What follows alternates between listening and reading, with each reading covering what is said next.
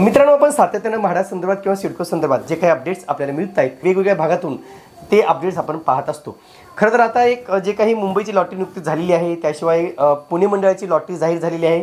कोकण मंडळाची लॉटरी सध्या पेंडिंग आहे. ती सुद्धा नवीन वर्षाच्या पूर्वसंध्येला जाहीर होईल अशी शक्यता आहे. म्हणून आता नवीन लॉटरी कुठे येऊ शकते किंवा नवीन घरांचं काम कुठे येऊ शकतं? काय काय नियोजन आहे म्हाडाचं? याही संदर्भात माहिती पाहणं तितकंच महत्त्वाचं आहे. आणि म्हणून आज आपण जे काही हिंदू हृदय सम्राट बाळासाहेब ठाकरे समृद्धी महामार्ग आहेत त्या समृद्धी महामार्गालगतच म्हाडाची घरे नव्याने बांधली जाणार असल्याचे एक व्रत आहे. आणि त्याच संदर्भात आज आपण थोडक्यात माहिती पाहणार आहोत. नमस्कार मित्रांनो. कसे आहात सगळे? मजेत ना? स्वागत आहे आपल्या सर्वांचं या यूट्यूब चॅनलवरती ज्याचं नाव आहे आर के प्रॉपर्टी न्यूज.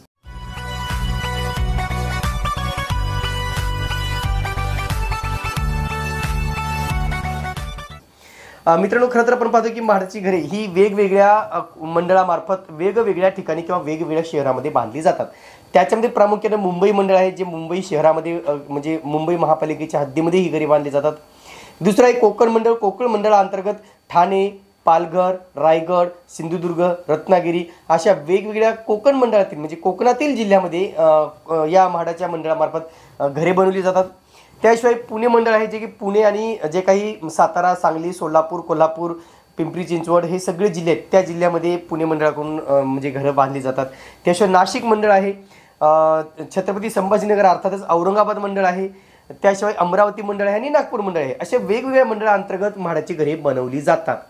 आणि आपल्याला माहीत आहे की सगळ्यात जास्त रिस्पॉन्स हा मुंबई कोकण आणि पुणे लॉटरीला मिळताना दिसून येत आहे. आणि म्हणूनच कृती जातात पुन्हा नव्याने म्हाडाने म्हाडाचे घरांचा स्टॉक कसा वाढेल किंवा कशा प्रकारे म्हाडांच्या घरांची संख्या वाढवता येईल याकडे लक्ष द्यायला सुरुवात केलेली आहे. आणि त्याचं पहिलं पाऊल म्हणजे जे काही हिंदू हृदय सम्राट बाळासाहेब ठाकरे स न- मुंबई नागपूर समृद्धी महामार्ग आहे त्या समृद्धी महामार्गालगतच म्हाडाची घरे बांधण्याचं नियोजन कुठेतरी करण्यात आल्याचं सांगण्यात आलेलं आहे.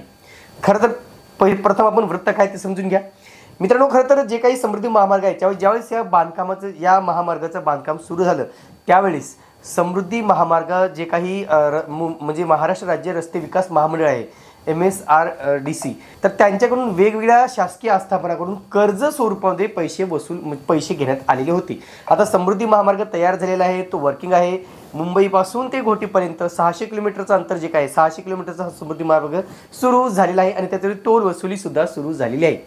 आणि ह्या महामार्गासाठी म्हाडा प्राधिकरणाने एक हजार कोटीचं कर्ज हे महाराष्ट्र राज्य रस्ते विकास महामंडळाला दिलेलं होतं. आणि आता हा रोड तयार झाल्यामुळे हा महामार्ग तयार झाल्यानंतर टोल वसुली सुरू झाल्यानंतर आता इन्कम यायला लागल्यानंतर म्हाडाने जे काही कर्ज रूपात पैसे दिले होते ते आता परत मागायला सुरुवात केलेली आहे. परंतु राज्य शासनाने एक निर्णय घेतला की जे काही कर्ज रूपात घेतलेले पैसे आहेत ते आता समभाग म्हणजे त्याचाच समभागात रूपांतर करून ते म्हाडाला दिले जाणार असल्याचं वृत्त आहे. आता समभाग जर मिळाले जर आपल्याला इथे जर आपल्याला शेअर्स जर मिळाले तर नक्कीच याच्यामध्ये म्हाडाचा नक्कीच फायदा होणार आहे. परंतु इथे सुद्धा म्हाडाने हे शेअर्स फक्त आणि फक्त लँड अर्थातच जमिनीच्या मोबदल्या जमिनीच्या स्वरूपातच घेण्याचं मान्य केलेलं आहे.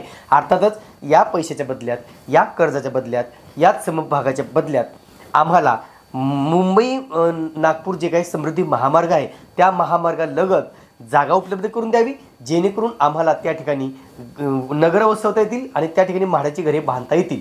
असं कुठेतरी म्हाडाचं नियोजन असल्यामुळं आता या संदर्भात जे म्हाडाचे मे जे म्हाडाचे मुख्याधिकारी आहेत उपाध्यक्ष आहेत त्यांनी सगळ्या मंडळातील मुख्याधिकाऱ्यांना सूचना केलेल्या आहेत की तुम्ही तुमच्या तुमच्या मंडळाच्या अंतर्गत जे काही विभाग येतो त्या विभागामध्ये समृद्धी महामार्गालगत कुठे कुठे जागा उपलब्ध होऊ शकते? कुठे कुठे घरे बनवली जाऊ शकतात? कुठे कुठे ही नगर वसवली जाऊ शकतात? याचं सर्वेक्षण करायला सांगितलेलं आहे. तशा सूचना त्यांना दिलेल्या आहेत. आणि म्हणून कुठेतरी सर्वसामान्य घरे जास्तीत जास्त उपलब्ध कसे होतील याकडे लक्ष द्यायला सुरुवात केल्याचं नक्कीच दिसून येत आहे. आता हा प्रश्न वेगळा आहे मित्रांनो की तेथील घरांना कसा प्रतिसाद मिळेल? तेथील घरांना कनेक्टिव्हिटी कशी असेल किंवा तेथील घरांना चांगला रिस्पॉन्स मिळेल किंवा नाही हा पुढचा प्रश्न आहे. पण नक्कीच जर त्या आजूबाजूला जर नगर वसवली गेली तर नक्कीच मा समृद्धी महामार्गाचा फायदा या महानगरांना होऊ शकतो. आणि तेथील जे काही डेव्हलपमेंट आहे किंवा तेथील जे काही सोयीसुविधा आहेत म्हणा त्या नक्कीच चांगल्या प्रकारे उपलब्ध केल्या जाऊ शकतात. आणि त्याचा फायदा समृद्धी महामार्गाने प्रवास करणाऱ्या प्रवासासुद्धा होऊ शकते. आणि त्याशिवाय समृद्धी महामार्ग महामार्गालगत आपण पाहतो की आता तर खूप म्हणजे वेगळं वाटतंय समृद्धी महामार्ग महामार्गाचं जातात कारण गावं दिसत नाहीत खेडे खेडी दिसत नाहीत. आणि ही नगरं वसवल्यानंतर मात्र नक्कीच वेगवेगळ्या सोयीसुविधा त्या ठिकाणी उपलब्ध केल्या जाऊ शकतात. म्हणून एकंदरीत म्हाडाचं नियोजन आहे की समृद्धी महामार्गालगत जागा उपलब्ध करून घेणे आणि त्या ठिकाणी म्हाडाची घरे बनवणे. आता ही घरे मित्रांनो फक्त अल्प आणि मध्यम उत्पन्न गटासाठी बनवली जातील असंही कुठतरी नियोजन असल्याचं सांगण्यात आलेलं आहे. अर्थातच एल आय जी आणि एम आय जी या दोन उत्पन्न गटाकरिता या समृद्धी महा महामार्गालगत ही घरे बनवली जाणार आहे. आणि त्या दृष्टीने कुठेतरी म्हाडने पावले टाकायला सुरुवात केलेली आहे. आता हेच पाहणं गरजेचं ठरणार आहे की एकंदरीत पुढील काळामध्ये नक्कीच जमीन हस्तांतरण म्हाडाला शक्य होईल का? आणि जी काही जमीन एम एस आर डी सीकडून अर्थातच महाराष्ट्र राज्य रस्ते विकास महामंडळाकडून जी काही जमीन अधिग्रहित केली जाईल किंवा जी जी काही जमीन उपलब्ध केली जाईल त्या जमिनीवरती म्हाडाला खरंच ठरलेली घरे किंवा जे काही नियोजन आहे ते नियोजन ठरलेल्या वेळेमध्ये विहित मुदतीमध्ये पूर्ण करणं शक्य होईल का? हे आपल्याला पुढील काळात समजणार आहे. म्हणून एकंदरीत म्हाडाचा जो काही निर्णय आहे तो नक्कीच काही अर्जदारांच्या बाबतीत खूप चांगला असू शकतो आणि चांगला नक्कीच फायदेशीर ठरू शकतो असं म्हणायला हरकत नाही. तुर्तास मित्रांनो इथेच थांबतो. पुन्हा भेटूया एका नवीन व्हिडिओसह. तोपर्यंत आपली रजा घेतो. धन्यवाद.